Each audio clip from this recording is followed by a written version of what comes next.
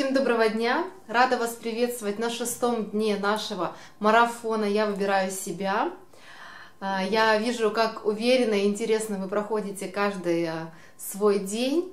И сегодня наша тема очень необычная и интересная. Мы много с вами говорили об энергиях, о пополнении своей внутренней энергии. И я сегодня поделюсь с вами той практикой, которая была такая, знаете, она непростая, вернее, она простая, но она необычная.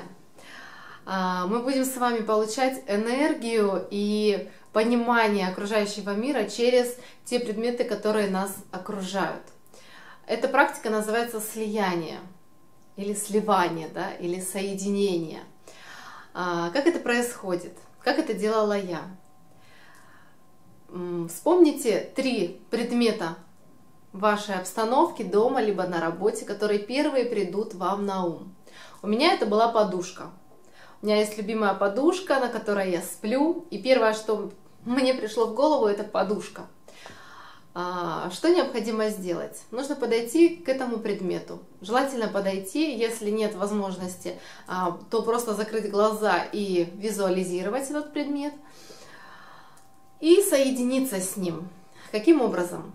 Я взяла подушку, обняла ее, закрыла глаза и про себя сказала, я это ты, ты это я, мы с тобой одно целое. И мысленно начала, начала представлять себя разбитой на атомы, на молекулы, на атомы, то есть как состоящие из множества-множества клеточек. И подушку из множества-множества клеточек.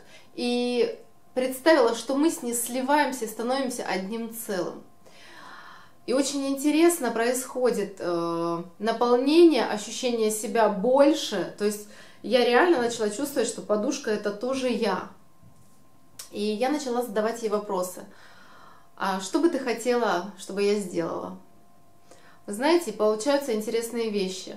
Я такую практику делала в прошлом году. Я сливалась э, дома со всеми предметами. Шкаф, э, там тумбочка, туалетный столик и так далее.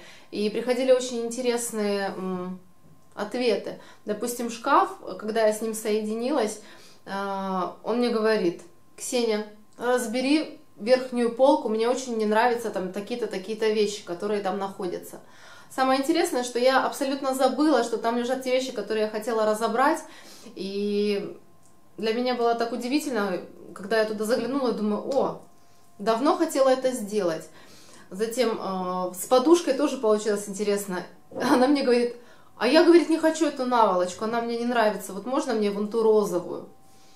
Вы знаете, приходят интересные какие-то ну, фразы, но я начала чувствовать, что я в своем пространстве, в своей квартире, я ощущаю гораздо больше. И тем самым у нас появляется такая, знаете, поддержка, как говорят, да, дома и стены лечат. Вот это примерно оттуда, когда у вас дома, получается, вы это везде. То есть вы чувствуете весь свой дом. И к вам приходят домой только те люди, которые вхожи в вашу жизнь. То есть это некая такая, знаете, защитная аура по всей, по всей вашей квартире или по всему офису. И сегодня наше с вами задание слиться с десятью предметами. Да, это звучит очень странно, согласна. Однако это очень интересно. Мы же с вами собрались для того, чтобы узнавать что-то новое и необычное. Вот, поэтому наполняем жизнь интересными событиями, интересными практиками. Я уверена, что вам она тоже даст новые ощущения. Помните, как вы начинали делать стаканчики? Она тоже странная. И вот здесь, сливаясь с предметами в своем пространстве, вы почувствуете э, совсем другую силу внутри вашей квартиры или офиса, или какого-то другого пространства, где вы находитесь. Поэтому мне очень интересно будет узнать э, ваши ощущения. Я поделюсь с вами своими ощущениями. Я тоже вместе с вами буду это делать. Мне это уже интересно. Я давно не практиковала ее, с удовольствием делюсь с вами и уже прямо в нетерпении этого дня для того, чтобы все это проделать. Желаю вам отличного дня, хорошего настроения, наполнения энергией. Живите душой и будьте счастливы. Я вас всех очень люблю и благодарна, что вы со мной.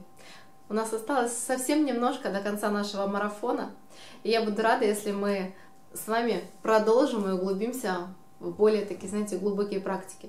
Но о них я расскажу чуть позднее. Всем пока!